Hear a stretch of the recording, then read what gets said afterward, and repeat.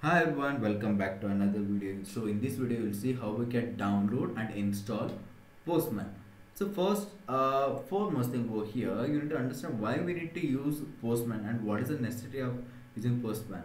If you already know, that's great. If you don't know, that's also cool. In this channel, you'll learn how we can, and we'll be making a series, right, which I told in my previous video.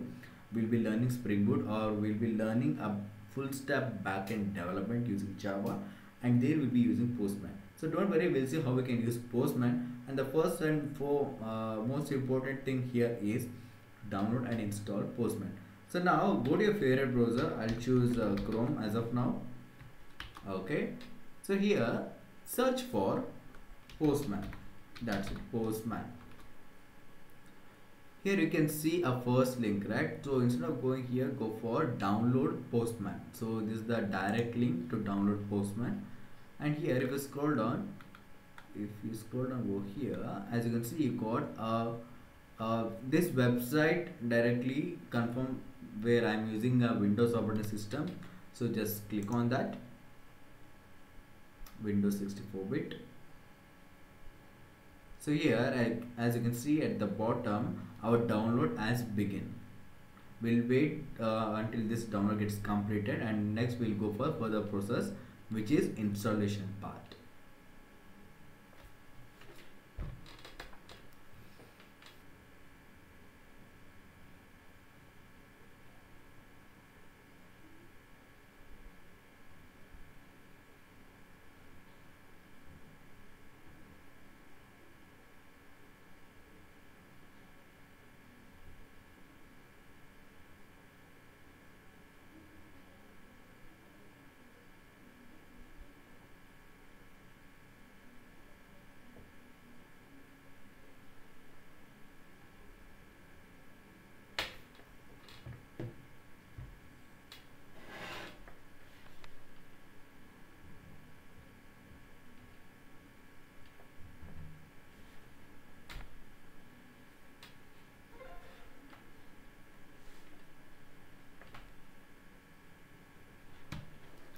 So here our download has been completed over here. Just open this. Showing folder.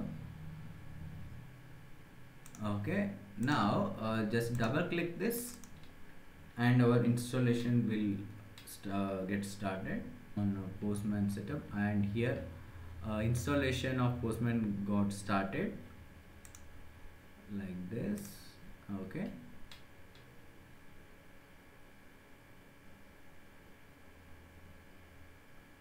so um,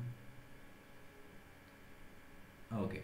So here when you install see now postman has been installed in your system. And there are a few settings you need to do over here.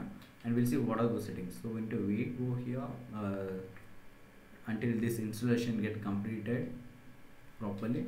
And here you can see uh, installation has been completed. And here you can see you can create a free account or if you have already an account you can sign in or you can skip as of now. I'll just skip for this and I'll go directly to the environment. So this is our environment or this is our workspace.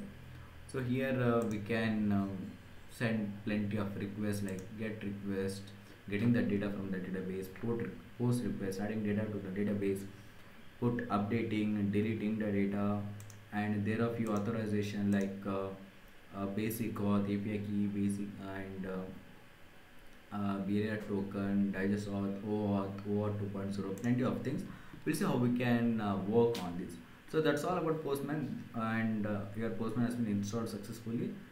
And from next series, we'll start with uh, how we can set up our Spring Boot project in our Eclipse. So until then, take care. Goodbye.